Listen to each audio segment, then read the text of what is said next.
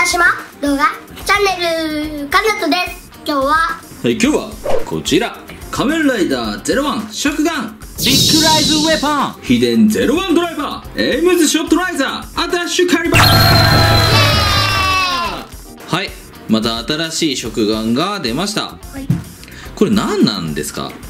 今日はこの謎の食玩を開けていこう。イェイ！田島さあじゃあどんどんね開けていきたいと思います。なんかねめちゃくちゃ長細いのよ。ね。うん。で結構でかいの。デラックス版のプログライツキーの箱と比べるとこんな感じ。えでかいでしょ？てこはい。じゃあ箱をよく見ていきましょう。仮面ライダー01に変身。お秘伝01ドライバー。変身遊びができる。組み立て不要。ソフビ製ですぐ遊べる。あなるほど。ソフビみたいな01ドライバーが入ってんだ。えー、へえすごい。で何何？本商品にベルトは付属しません。お手持ちのベルトを使用してください。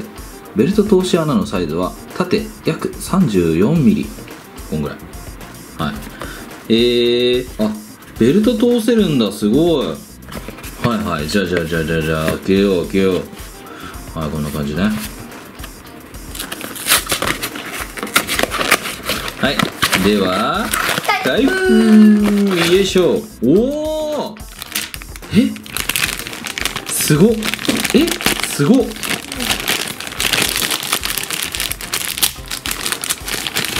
よいしょ。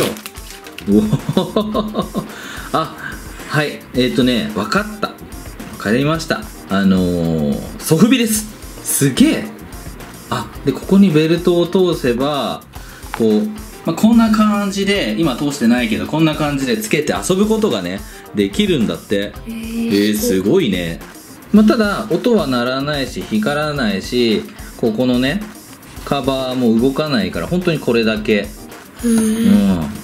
面白いね。なこんなのあるなんてね。ね本物の01ドライバーと比較するとこんな感じです。やっぱちっちゃいまあサイズはねちっちゃいけど、ん。あの塗装とか結構いい感じじゃない？うん。ね。うん。はいこんな感じ。はい。じゃあ次はエイムズショートライザーはい。開けていきましょう。これもベルト通せたりする？乗せたりする。ああしないな。あしない。はい、あなかなかいいサイズのエイムズショットライザーが入っております。じやーん。はーい。こんな感じ。うん。後ろこんな感じ。はい。サイズ的にはかなとくんの手にスポッと収まるぐらいね。うん。はい。でシューティングウルフのプログライズキーが装填済みですね。うん。はい、まあ、こちらもね特に音鳴らないし光らないし変身遊び、えーもできないんですけれども、これいいじゃん、いいね。はい、サイズ的にはこんな感じ。かなりちっちゃい。こんな感じですね。はい。プログライズキーの絵柄を比較するとこんな感じです。はい。はい、かなり省略されてるというか可愛くなってますねこっち。ほら。さあ最後はアタッシュカリバーあたしこれは開けましょう。開けましょう。じゃん あー。よいしょ。よいしょ。はいこんな感じ。はい。すげえな。結構長い。果物ナイフぐらいかな。だからゼロワンドライバーと確認してみると結構長いんだね。そうだね。うん。ええー、まあこれも変形しない。あ変形はしないでしょプログライズキーを指すとかそういうのも特になし。本当にもうこれだけ、これだけで戦いごっこあちゃちゃちゃってやる感じですね。デラックス版のアタッシュカリバーと比較するとこんな感じですね。はい。先端ぐらい。あこれより短い。ほら。あーちょっ ねこんぐらい。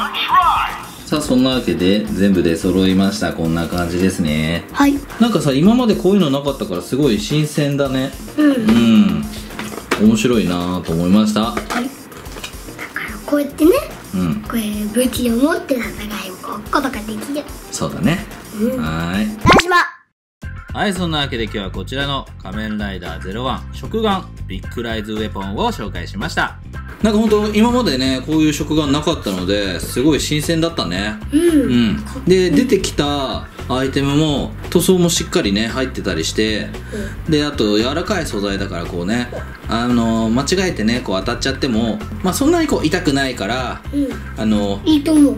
うん、安全に遊ぶにはいいんじゃないかなと思います。はい。バックルは本当にベルトに通せば腰に負けるのでえー、01のね、うん、変身遊びもできるんじゃないかなと思います。なりきり遊びね、うん。なりきり遊びもできるんじゃないかなと思います。はい。はい。